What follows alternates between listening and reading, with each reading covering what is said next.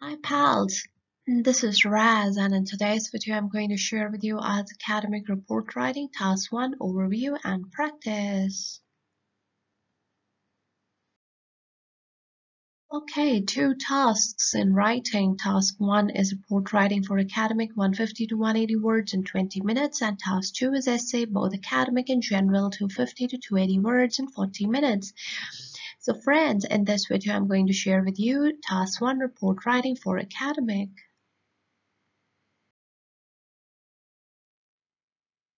Let's take a look at the task assessment. Task achievement is 25% in which you need to answer everything you're asked to do in the question. The other 25% is coherence and cohesion. Use structured paragraphs and make standard expressions. The other 25% belongs to the lexical resource. Use wide range of vocabulary. And the last is grammar range and accuracy. Include different kinds of sentences ranging from simple, compound, and complex.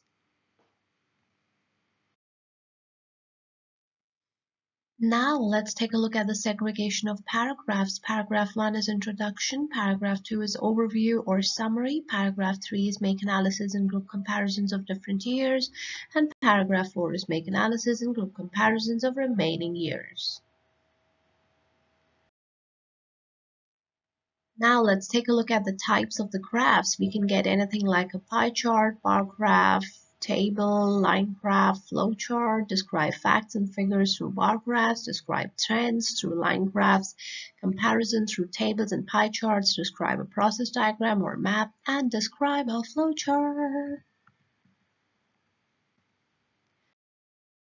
Now let's take a look at the recent exam question, graph 1. You should spend about 20 minutes on this task. The graph below shows the information on employment rates across six countries in 1995 and 2005. Summarize the information by choosing and describing the main idea and make comparisons where appropriate. Write at least 150 words.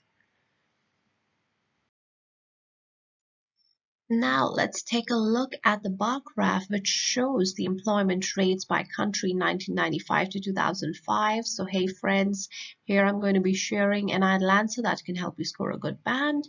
The supplied bar graph compares the employment rates between men and females in six different countries for the years 1995 and 2005. As is observed from the group given data, the employment rate among men was higher than that of females in all the given six countries, whereas the overall employment conditions in Iceland, Switzerland were comparatively better than the other four countries. As is given in the diagram, initially in 1995, more than 65% of males were employed in Switzerland and in Iceland, while in the other four countries this rate was less than 60%. After a decade, the male employment percentage reached over 70%, except in Australia. On the contrary, in 1995, the female employment rate was over 50% only in Switzerland, and for the rest of the countries, this was from 28% to 58%. This quota also improved over the 10 years, and in 2005, the female employment rate reached almost 70% in Switzerland, and for the rest of the countries, it was 50%.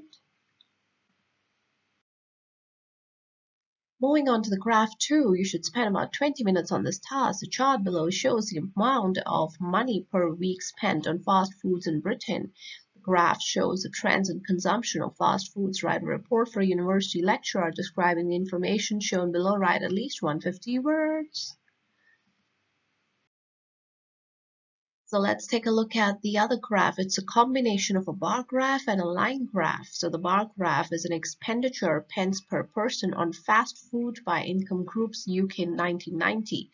And on the other hand, we have the line graph consumption of fast food per person in gram in Britain. So let me present an idle answer that can help you score a good band. The bar chart compares the weekly expenditure of the British on three fast food items in 1990, while the line graph displays the consumption of these items from 1970 to 1990. Overall expenditure on fast food varied based on people's income, and the pizza was the most consumed item in the 70s, but in later years, consumption of fish and chips increased remarkably.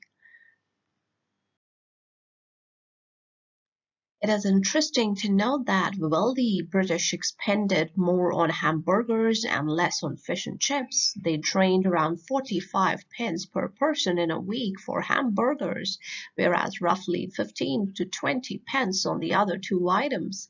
Moderate income class preferred hamburgers but exhausted approximately 33 pence on that. They outlaid the least on the pizza, which amounted to nearly 12 pence. The low-income class, on the contrary, spent less on fast foods and they shelled out between 7 to 14 pence for each item, despite fish and chips being their most favorite. According to the line graph, British citizens consumed pizza more than the other two items. In 1970, the consumption of pizza was 300 gram per person, while it was less than 100 gram for the other two items. Over time, fish and chips became the most consumed fast food with 500 gram consumption. During this time, pizza became less popular, while hamburger gained some popularity.